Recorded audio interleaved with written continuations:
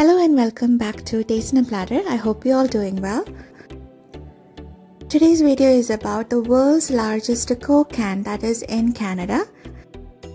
Right now we are in Winnipeg which is the capital city of Manitoba province.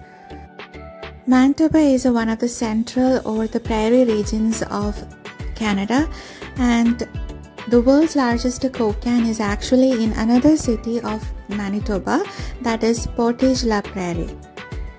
Portage la Prairie is a small city that is located 75 kilometers or 47 miles west of Winnipeg along Trans-Canada Highway. To start your journey from Winnipeg, it can take 1 hour 10 minutes for you to get to Portage la Prairie.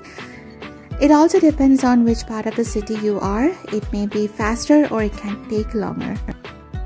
Manitoba is one of the coldest places in Canada and right now the temperature is minus 26 degrees Celsius and with wind chill it feels like a minus 33 degrees Celsius.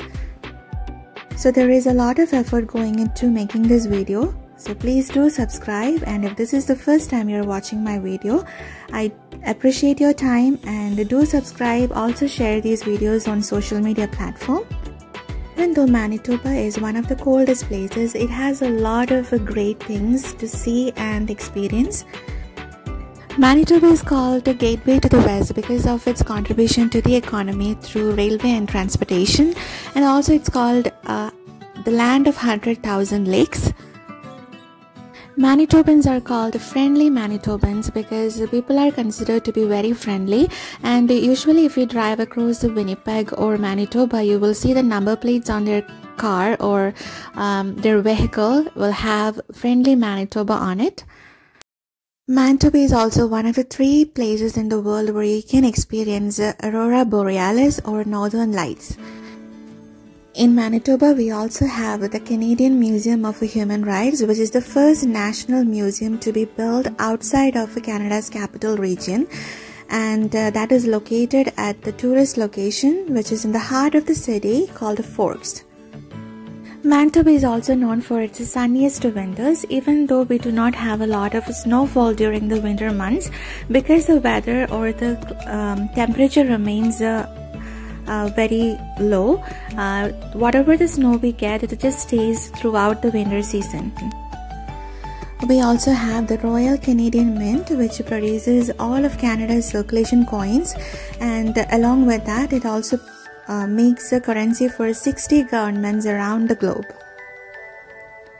Canada boasts of for its winter sports, but we also have little activities like making snow figurines like this snowy owl. And on our way to Portage la Prairie, I do notice another one outside of a school, which are these two cute cuddly polar bears. Due to COVID pandemic, I think this year 2020-2021, a lot of people are into making these kind of snow sculptures and uh, a lot of news are coming on our city news and TV channels, encouraging them and appreciating their uh, hard work. On our way to Portage Prairie through Trans-Canada Highway, it would be better if you travel in summer months because most of the land on both sides of the highway are farmlands and it is just plain, there is not much to see. Portage la Prairie is also called as a sunny city because it has the most sunniest warm uh, summer days. Another important thing about uh, Portage la Prairie is that the soil is very fertile and hence it is known for its uh, livestock production and agriculture.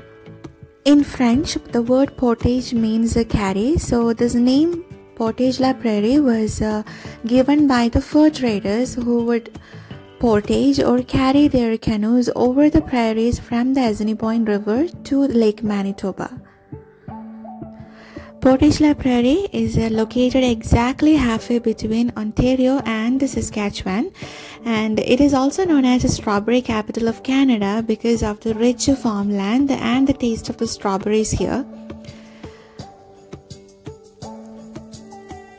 Portage Prairie is often described as an island on the prairies due to its summer sun and proximity to Crescent Lake.